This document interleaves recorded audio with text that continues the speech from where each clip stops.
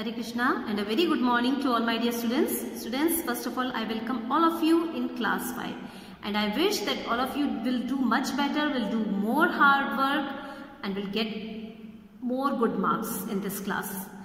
Today, from today, your online classes for the new sessions are starting. So, and today I am going to teach you the first lesson of English 1. But before starting the lesson, I am going to tell you about your English books. You have two books of English. The first one is Essential English. This is English 1 book and the other book is Essential Grammar book. The same book that you had in the previous class.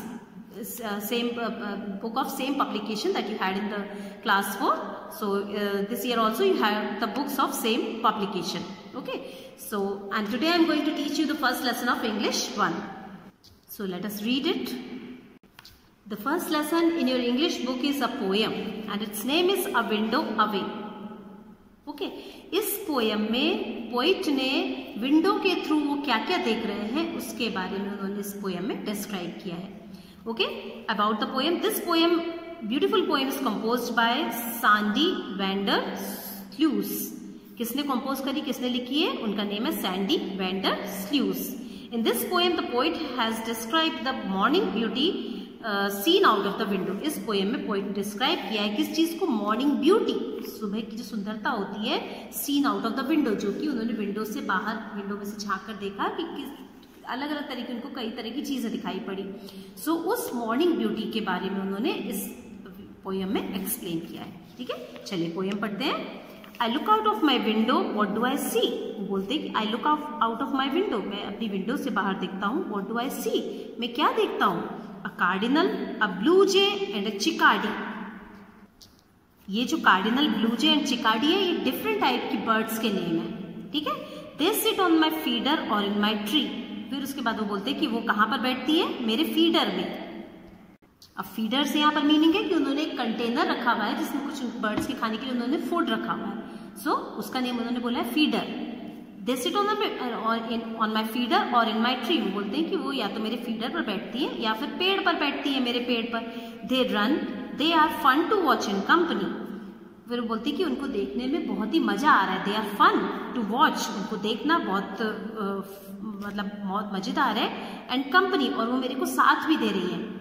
Okay when I hear them sing their pretty song जब मैं सुनता हूँ when I hear hear mean सुनता हूँ them सिंग उनको गाते हुए there pretty song उनका सुंदर सा गाना गाते हुए सुनता है my worries and cares are gone मेरी चिंताएँ, जितनी भी मेरे मन में चिंताएँ हैं, वो सारी दूर चली जाती है आर गॉन चली जाती है। जैसे मैं उनका सुंदर गाना लगाता हूँ, देख, सुनता हूँ, उनको देखता हूँ my all worries go away okay humming birds enjoy my flowers humming bird जो है वो मेरे फ्लावर्स को एंजॉय कर रही है। Succulent nectar they love to devour succulent succulent nectar का मीनिंग जो फूलों में जो वो होता है ना उनका जो लिक्विड होता है फूलों की जो वहाँ पर मकरंद बोलते हैं जिसको सो so, वो उसको खाना बहुत दे लव टू डिवोर उनको खाना बहुत पसंद है हमिंग बर्ड्स को।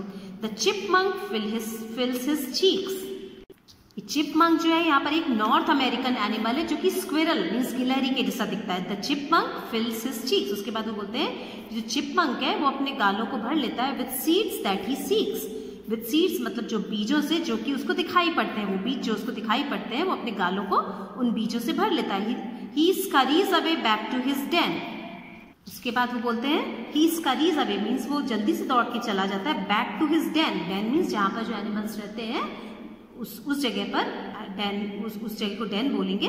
सो वो अपनी डैन में वापस से दौड़कर चला जाता है। Then comes back for the for seeds again उसके बाद थोड़ी देर बाद फिर से सीड्स खाने के लिए आ जाता है वो chipmunk rabbits run hop and play rabbits दौड़ रहे हैं हॉप कर रहे हैं और प्ले कर रहे हैं। रैबिट जैसे जंप जंप करता है ना, उसको हॉपिंग बोलेंगे।